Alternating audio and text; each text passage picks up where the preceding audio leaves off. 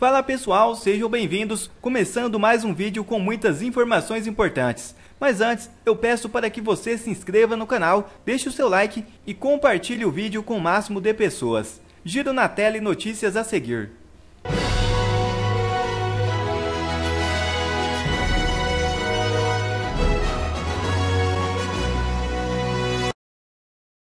Primeira matéria já na tela. Delegado pede a PGR que inclua Dino no inquérito das fake news. É isso mesmo. O deputado federal e delegado da Polícia Civil de São Paulo, Paulo Bilinski, denunciou à Procuradoria-Geral da República o ministro da Justiça e Segurança Pública de Lula, Flávio Dino.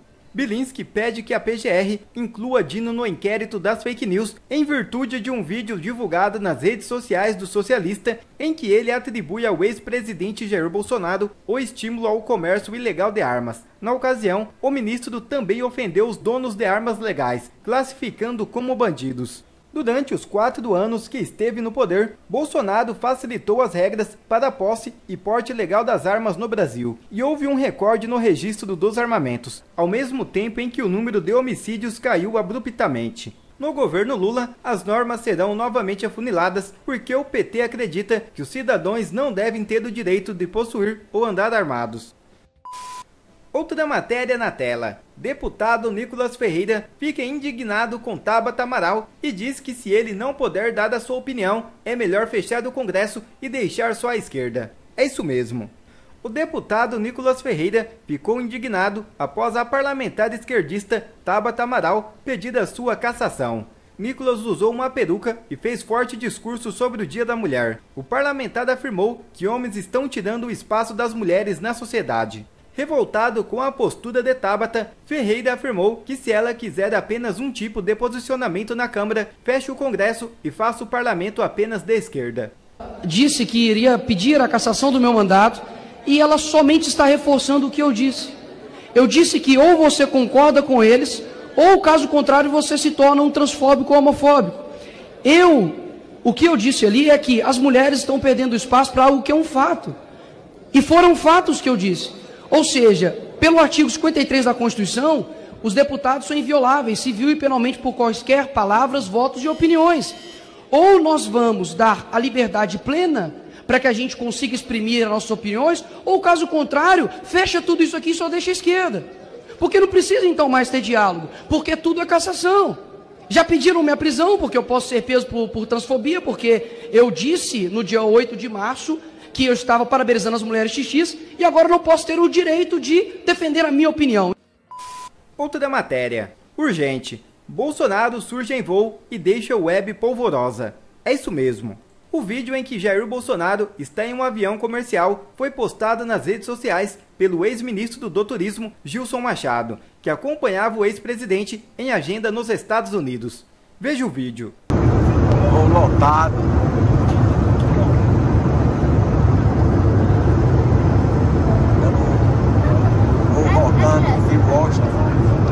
E aqui nas últimas cadeiras, tem janela, tem o nosso presidente aqui sentado. Quietinho, tranquilo.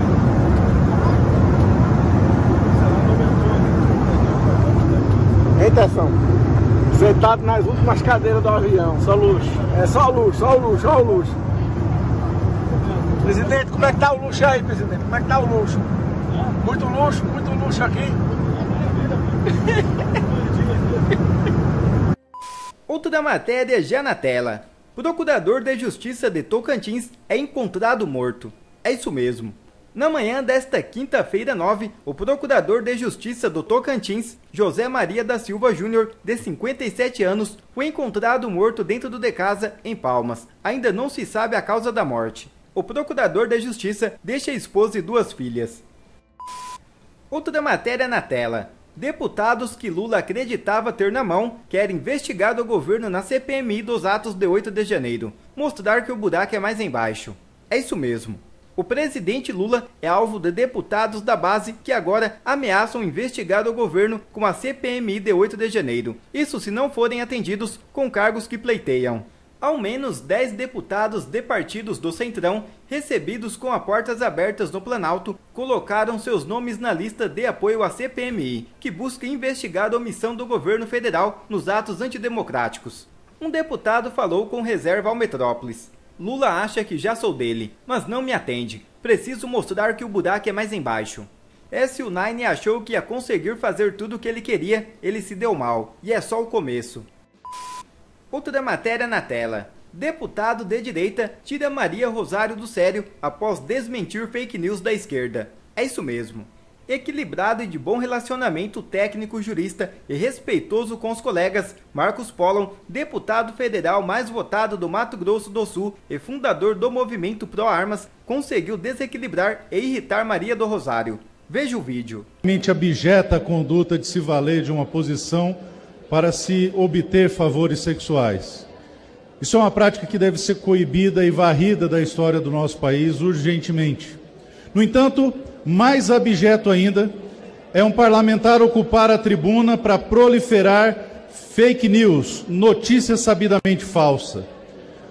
Estive presente aqui onde vi um parlamentar do Rio de Janeiro que disse que sua sobrinha se envolveu num caso trágico de tentativa de feminicídio e ao chegar no gabinete apurei e claro, o detalhe importante, estava esquecendo, atribuiu a política de armas o presidente Bolsonaro.